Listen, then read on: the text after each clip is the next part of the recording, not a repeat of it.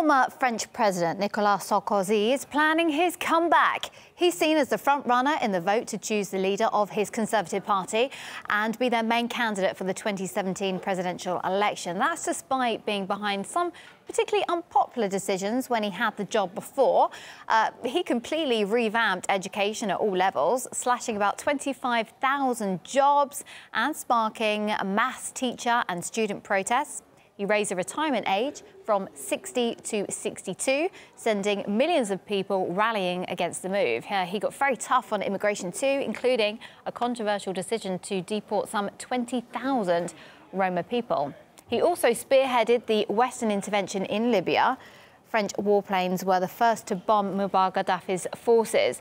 Apart from political controversy, a number of money scandals also haunt Nicolas Sarkozy.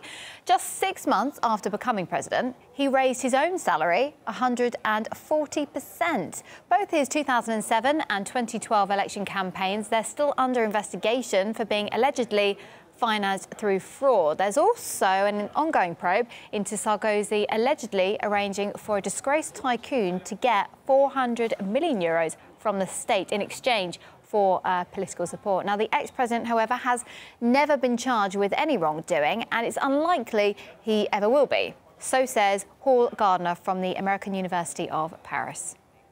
I call him the, the Teflon president, like Ronald Reagan. All the accusations seem to bounce off of him. He's been able to win in the courts, uh, or at least postpone some of the uh, accusations against him, like receiving money from Gaddafi and and other issues which are still in the background. Sarko is appealing more and more to the right to gain voters of, of Le Pen. And he's doing this by uh, immigration. He wants to make a Schengen 2 uh, to try to make uh, tougher uh, immigration laws to enter into France. He is looking towards uh, tighter uh, laws to keep prisoners locked in jail. He's come up strongly against gay marriage. the majority of French do not want Hollande to be to run for president again. He has a popularity of like 13 percent.